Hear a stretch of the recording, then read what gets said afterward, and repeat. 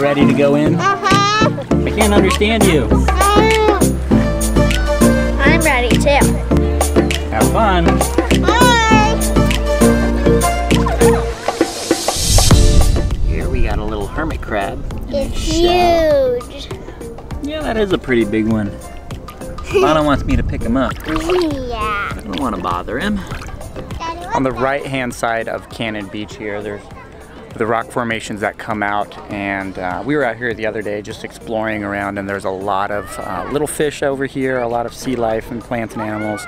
Uh, today the tide is actually kind of low. Uh, this here was up to my knees uh, two days ago and it's probably going to be up there in a little bit but right now it's perfect for Lana Yeah. to explore. What have we seen so far? Uh, we've seen a huge hermit crab jellyfish we saw the other day. And a lot of little fish? Yeah.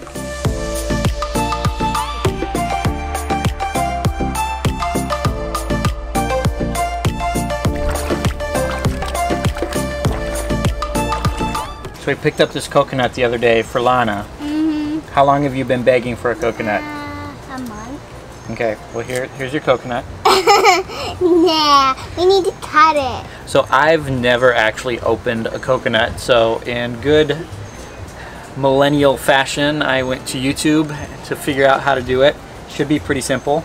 Uh, everyone's showing, hey, you can smash it open with rocks, but we're a little bit more civilized than that. So we are going to smash it open uh, with a hatchet, the back side, not the front side. Uh, I've actually used this hatchet a couple of times, and No. the first Once. time out, You've used it once. first time out, I actually sliced my finger and had to go to the ER. So uh, it's small, very sharp, uh, but And with that, so to bust open a coconut, uh, right in the middle, if you put a lot of pressure on it, it would actually snap right in half. So we're gonna do it right over a bowl so that we don't lose any of the coconut milk on the inside. So we're going to hit it and then rotate and then keep going across. So I put on the protective cover just to make sure that I'm not cutting myself because, hey, I'm accident prone.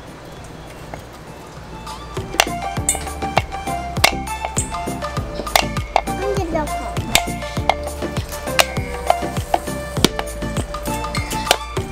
Yay! Wow! Wow! And there we go. That. I want to eat it. I want to have some coconut milk. So, and then what we need to I do is get a put it on my knife and we can start cutting the pieces out and they'll all come out a little bit at a time. That looks really hard to just get a piece of coconut. Do you have to take the brown There's a stuff piece off? of coconut. Take a bite. Can I eat this one? Yep. What about me? I want to take this brown stuff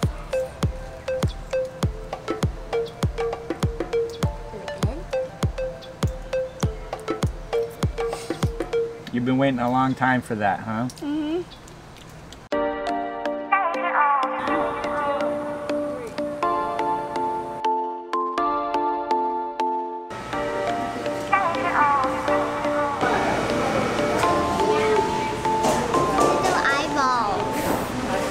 Little. Eyes sticking out of his head.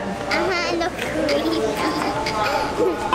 We stopped by for a visit at Key Largo Fisheries, which is a fresh seafood market. The boats come right in from the ocean and bring the food here. So we're checking it out for something to cook for dinner tonight.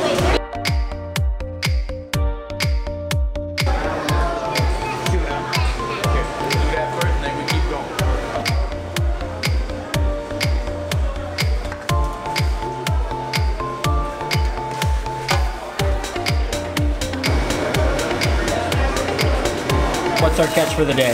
The day, we got like three days worth of catch. We got pounded shrimp, pounded tuna, and lobster tails.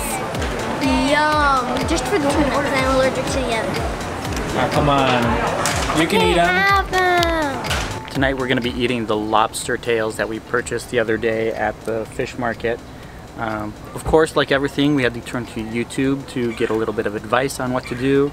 So we've got the lobsters up top. Actually, our friends the Chans gave us a little bit of advice as well because they've done it before. Uh, but this is, as you can see, beautiful, and we're hoping it's going to be delicious as well.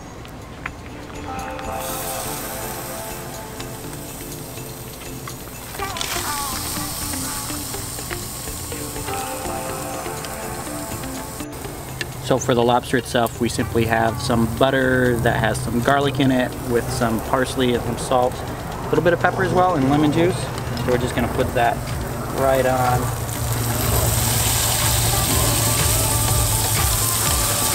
As it cooks. We're gonna do that a couple more times in the next few minutes.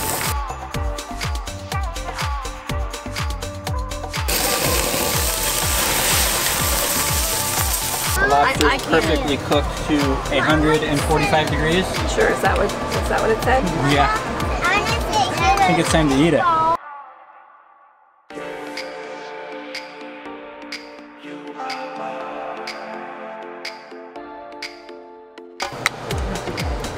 Lana, have you tasted any yet?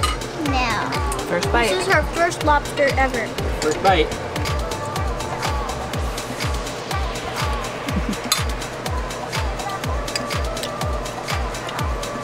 Don't like it. You don't like it? Mm-hmm. No?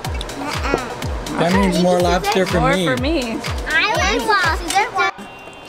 So tomorrow's Easter, but I have my bunny ears on.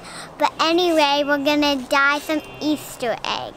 Oh yeah? How many Easter eggs we got to die? Ten. Only 10. You need like fifty thousand. Is that enough for everybody? Yeah? Probably not.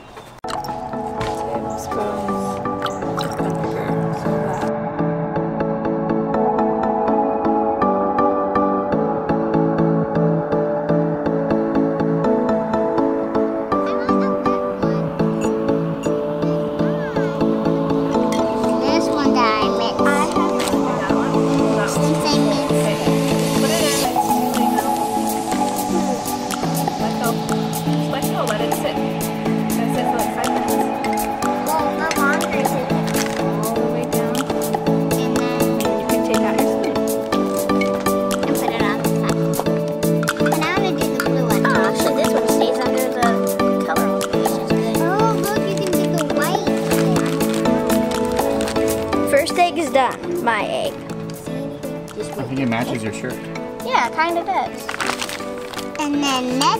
mine is done.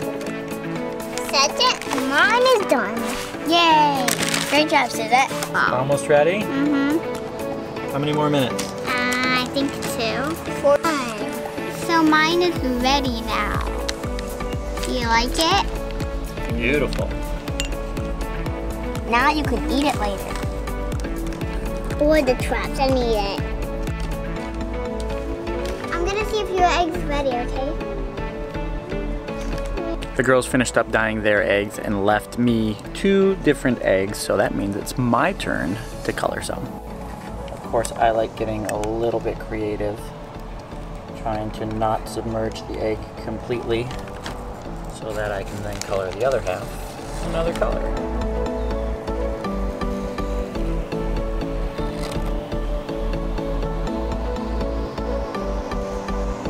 For today's adventure, we are going kayaking through the mangroves, the isles. What is it? I don't know. The trails. They're gonna give us trails, trail maps right up here. Uh, we've rented two double kayaks. AC has his own double, and we can fit three in each of them. So we're good to go for eight people, right? We hope so. musical kayaks. We're gonna play musical kayaks throughout the day, and supposedly we're gonna be able to go snorkeling off of the kayaks because the water is gonna be really beautiful.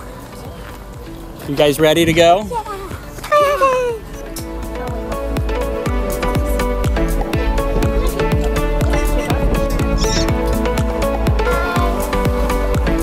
It's so cool already. So cool already. You guys gonna join us?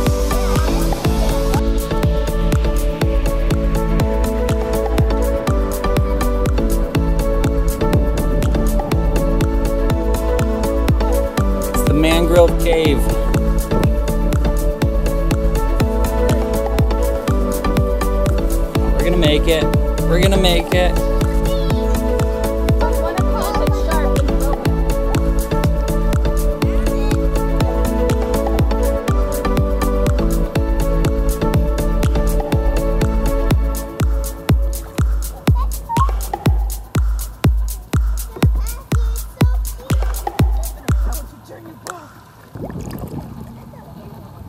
Okay. Oh no, this doesn't, oh jeez. Okay, I gotta turn this off.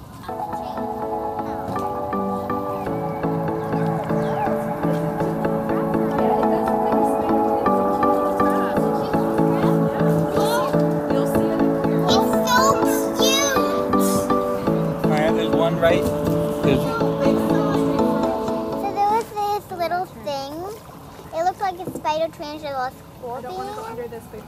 And it looked really cute. We're just gonna hit And it. it didn't look cute at all.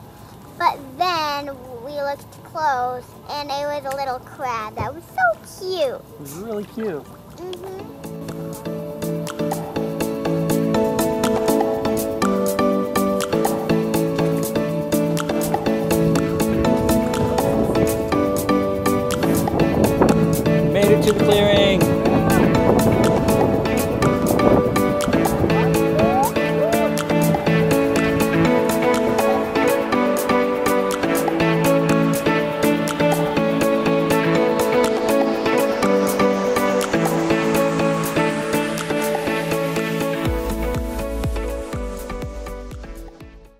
our last big adventure down here in the Keys, we are going snorkeling today because we actually leave tomorrow. We saved it for the very last Well, we tried to get in earlier, but the water conditions and the wind were so choppy that they said uh, they, No novice snorkelers. no beginner snorkelers. You no need to be a children. strong swimmer. So Today yesterday and today have been calm and beautiful. The forecast looks awesome. Not a cloud in the sky, which means we should have maximum visibility in the water. Yeah. So we are getting on Encounter, this little boat right over here, right behind us. Uh, it's going to take us out 35 minutes to the coral reef here at John Pennekamp State, State Park. Um, should be gorgeous. They say there's a lot of wildlife, well, fish Yeah, they're Fish. wildlife. out there. So we're going to have some fun. I think they're all going up, so you want to just grab some? They're starting to recover really nicely. What you guys can do to help us help our coral reefs. Again, avoid touching them with your hands, avoid kicking them with your fins, and absolutely no standing on them at any time.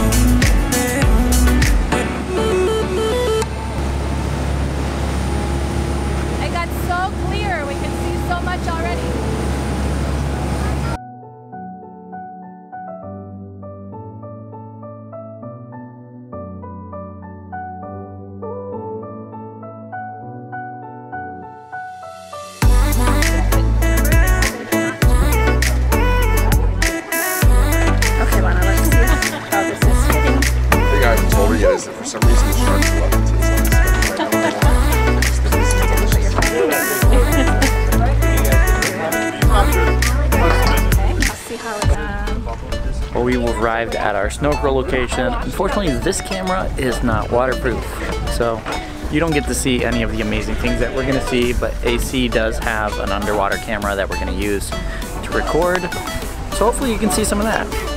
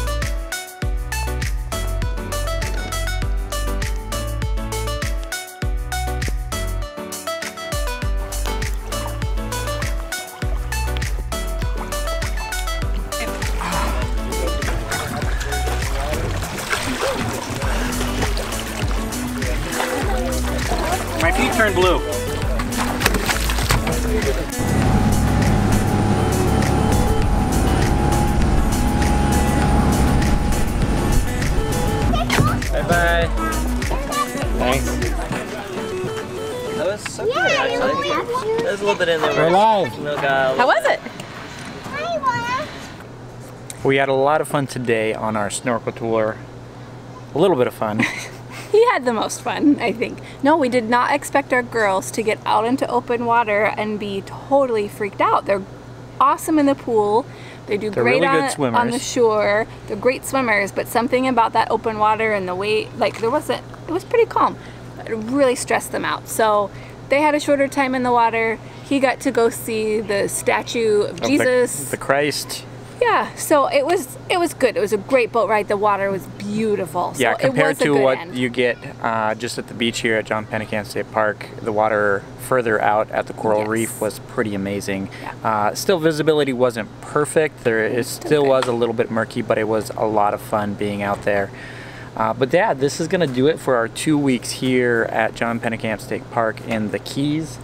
Uh, tomorrow we leave and we drive straight up to Virginia, but we've been camping with our friends, the Chans, Yeah, for around six weeks over the last couple months, and so it's sad to leave them. We don't have plans to meet up again yet. We don't know when we'll see them again at this No. point, so it's kind of sad to say goodbye for now. Um, we're gonna wrap up and have dinner with them. It's Easter today, so we're celebrating that a little bit and just having a last hurrah before we go separate ways for a while. Yeah, we're making our way to Virginia, to my hometown for a few weeks, and then we'll keep going around from there. So thank you guys so much for watching. If you enjoyed this video, give it a thumbs up. Don't forget to subscribe, and we hope to see you on the road. Amazing. Amazing. What's it got?